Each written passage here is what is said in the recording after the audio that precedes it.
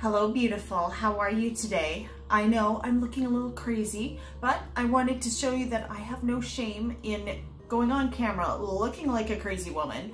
And if you like what you see today, then go ahead and hit that subscribe button, give me a great big thumbs up, and if you really like me, then go ahead and uh, tap that bell and you will be notified of more of my uploads. Today is going to be all about how to tame your frizzies and a couple of tips that I have for um, how to apply hairspray. I am allergic. I've got this great big boil on the side of my neck. A couple of things might have happened. That's what happens when I drink coffee. It's what happens when I have coconut anything. Um, coconut oil can touch my skin and that'll happen. Um, perfume, any kind of oil.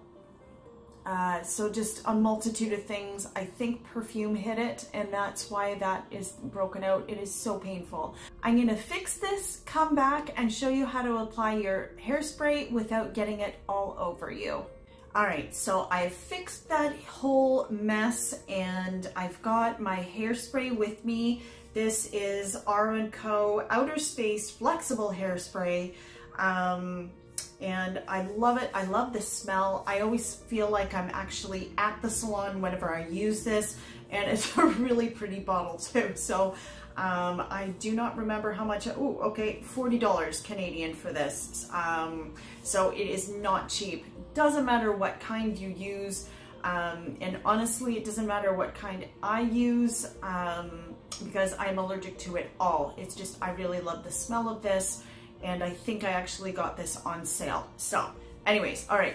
My tip for you, two things. Um, first of all, if you have a look like this and you just want to make sure that um, you don't have any of those flyaways during the daytime and you don't want to all over your head, what I suggest you do is just take some, spray it into the palm of your hand, put them together, and then dab that all over your head. Just exactly like this at the back, in the front, on the sides, everywhere. Cause see, I'm not getting it anywhere on my skin, but it is touching my hair.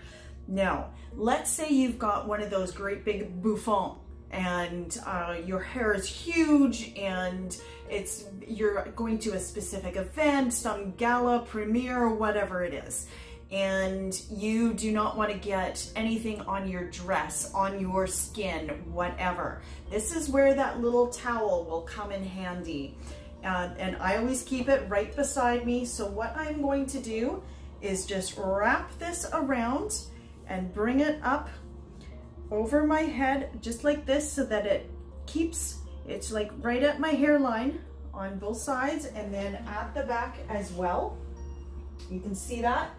And then I'll just take my hairspray and start to spray. And none of this is gonna go onto my skin at all, but I'll get a really good coverage on my hair and you're good to go. So I hope this helps ladies. Um, that's my tip for today. And I just want to remind you, I am enough. I love every single one of you. Thank you for joining me. I will see you in my next upload.